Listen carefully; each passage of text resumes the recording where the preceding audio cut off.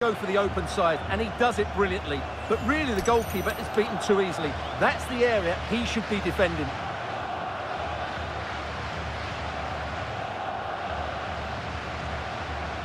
Well, he looks really pleased, doesn't he? He's